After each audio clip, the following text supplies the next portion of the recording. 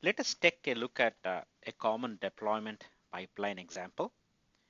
If you look at this flow, we are talking about how the code changes made by the developer transmit across different uh, environments, like how they get uh, compiled and built, how they get into the development environment and then QA environment, pre-production and production environments.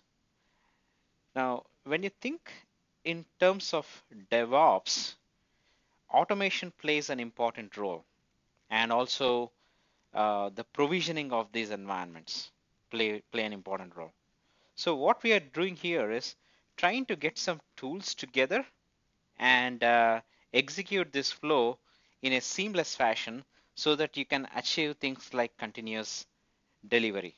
So this example is built around continuous delivery. However, you can also do continuous deployment in the same fashion. Uh, you would, in case of continuous delivery, you don't go all the way up to production in terms of automated deployments. In continuous deployments, you can actually automate the deployment all the way up to production. Uh, if you look at this flow, this is a common flow that, that uh, all the developers understand.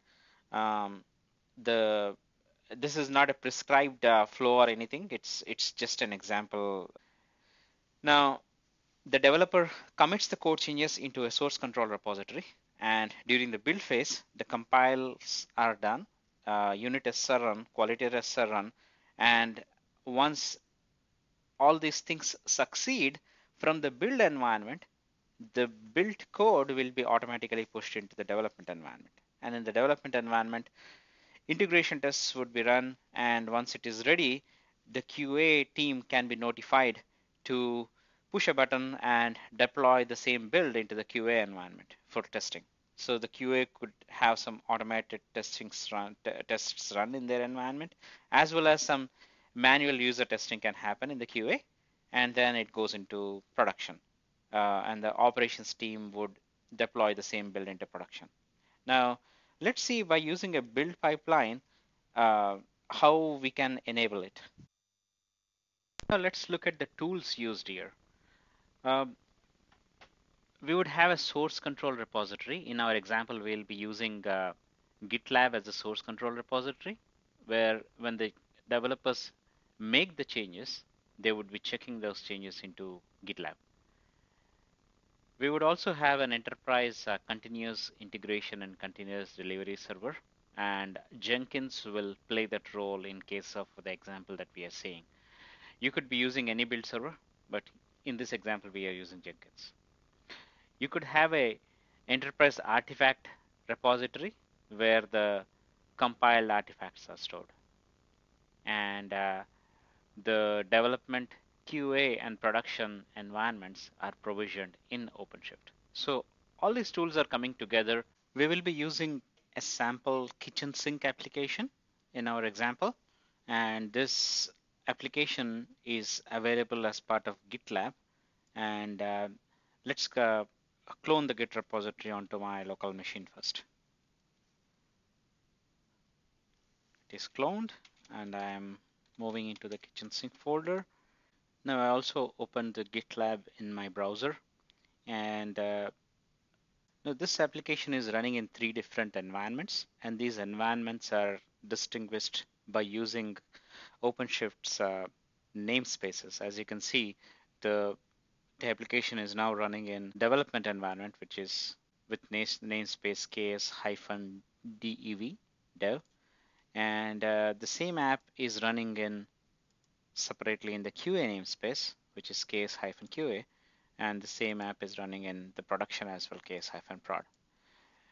Now, we have used here namespaces to uh, separate out the environments, but you can, in, in, in the real world, you could be setting up three completely different OpenShift environments for, for different uh, uh, for dev, QA, and production.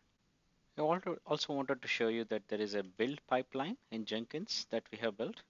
And uh, this build pipeline has, as we have seen in the figure earlier, right, there is a build phase where once you make changes and check in those changes into the source control repository, it will be automatically picked up by this commit phase.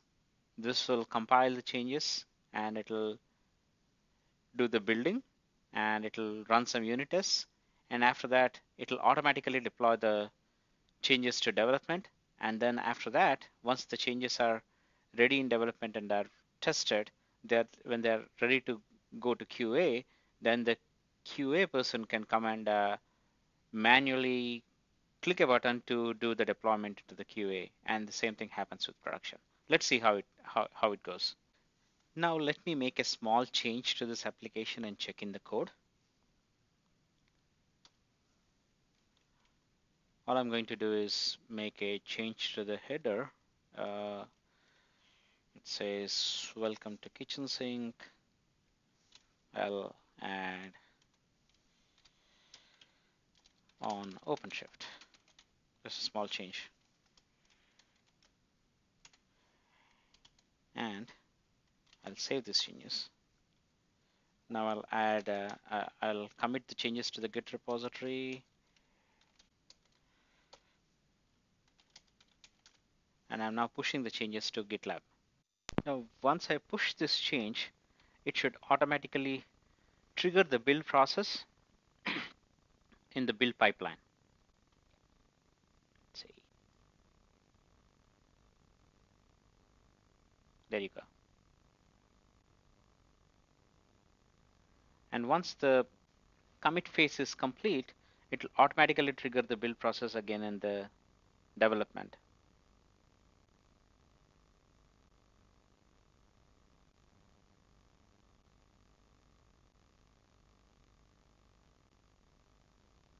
At the end of this build, you will notice that an email gets sent by Jenkins to, to my email address saying that the build is ready. So if I, it says the new build is available and it is in ks-dev.apps.oscloud.com. So now if I go back to the development environment and refresh, I should see, yeah, the changes. Welcome to Kitchen Sink on OpenShift. Now, as of now, the changes are only moved to development. So in QA and in production, those changes are not there. They are only running in the development. Now the developers have a chance to completely test this application and then uh, notify the QA that their build is ready to move to QA. Now let's log out and log in as QA. Um,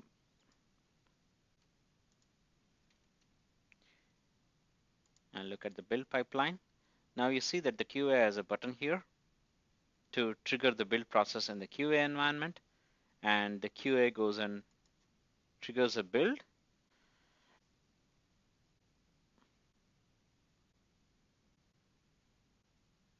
Now this application gets deployed into the QA environment and all the tests are run. It's done. Now at this point I will have another email that the build is ready in the QA environment and uh, this points to ks-qa at, at apps.oscloud.com. So let's go back and check in QA. The application is, is available in QA. And uh, but in production, the updates are not there yet.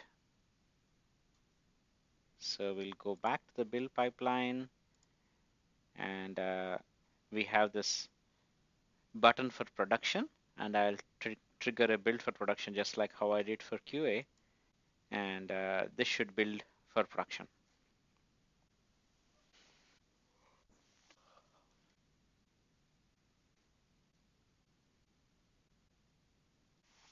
It's done. So now at this point of time, if I go back and check my emails again, I should see that there is one more email that says that it's available in production. Now the production should be updated. So to summarize what we have done so far, we have uh, used Jenkins with OpenShift to create a build pipeline for continuous delivery.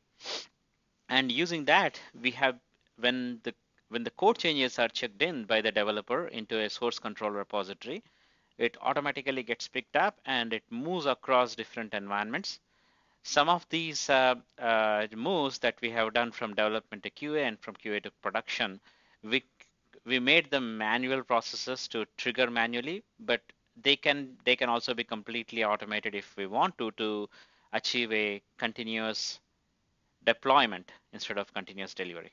Now, if we had errors during the build process, then for example, if there were compilation errors, they would have stopped during the commit phase. If we had any errors during integration tests, they would have stopped. Uh, uh, it would have stopped during the development phase and would not move forward. And if there were errors in uh, uh during the QA testing, then they would have stopped here. So that's also part of the build pipeline itself. Now that completes the demo of uh, how OpenShift and other tools can work together to enable DevOps.